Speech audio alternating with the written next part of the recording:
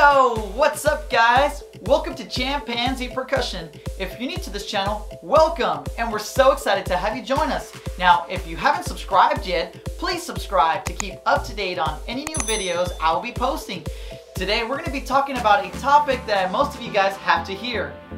Why do we drop our sticks? If you're probably a younger student within middle school or high school, you're noticing that your sticks end up on the floor more than they end up in your hands. Now, why do you think that might be? Now, for starters, I want you to ask yourself this question. Are you spending most of your time trying to learn the newest stick trick? Are you just flipping sticks or you see someone doing something cool and you're trying to imitate that with your drumsticks?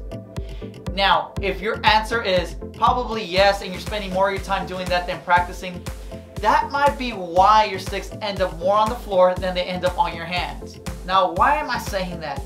The reason is because some of us might be getting in trouble, whether it's by flipping our sticks in class and our sticks are just clinging on the floor, or we're at home and then just the sticks are on the floor. And if you're dropping your sticks consistently, you might notice that your sticks might end up changing in size and shapes. And so in a way, it might affect the tone, or it might even damage your drum because the shape is different on the beads of the stick. Now, the reason why I'm bringing this topic is because we as percussionists need to spend as much time practicing our music instead of picking up our drumsticks from the floor. Now, if you're spending most of your time flipping drumsticks, most of your time is gonna be wasted just by doing that.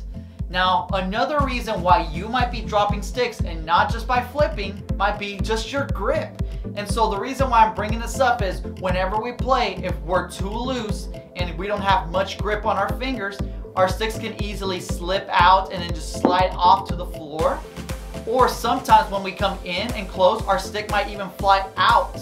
And so the more grip that you have on your hands, the better. Now, I am not saying choke the drumstick. I'm saying have a little bit more grip on your fingers. And so all I'm asking you to do is just put a little bit more tension on your fingertips and make sure that the stick doesn't wiggle out forward or even slide out as you're going back to your set position or as you're playing your instrument. And now, even as you're playing, there's times where you even might hit your drumstick and all of a sudden your stick just flies out to the floor. Now, if that happens, that's also another indicator that you're not holding onto your sticks with a proper grip.